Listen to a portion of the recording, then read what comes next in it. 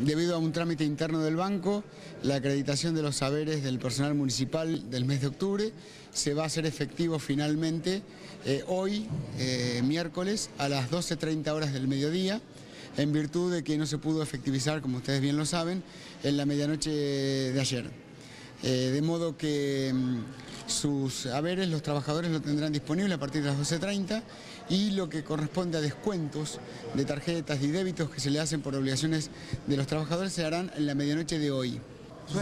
¿El descuento de los dos días? No, del día de ayer sí, el del, día de ayer sí, porque no hubo razón, era el quinto día hábil del mes y no había razón para hacer un paro. Eh, en todo caso se hubiera hecho una alerta de inmovilización o hubieran eh, tomado otra medida, hubiera sido distinto. En el día de hoy eh, no habrá descuentos. Licenciado, usted el día viernes recibió algún llamado del sindicato de municipales advirtiendo que el lunes era el día del bancario y que no iban a poder cobrar. El, el viernes el sindicato llamó a la tarde, ya fuera del horario bancario,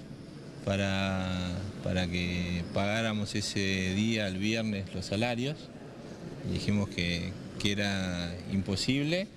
uno porque ya estábamos fuera del horario bancario y dos porque los bancos tienen sus corrimientos,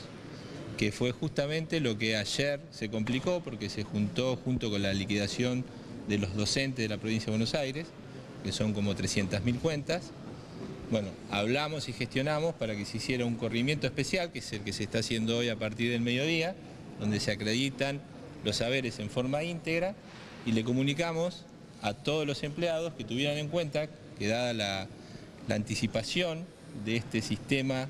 bancario, los descuentos de los saldos de tarjeta y de, de las cuotas de los créditos que tienen tomados recién se van a practicar a la noche. Entonces ya nosotros enviamos esa comunicación interna a todos los empleados para que consideraran que lo que se va a acreditar es el sueldo completo y que a la noche les van a descontar las cuotas de los créditos y los saldos de las tarjetas.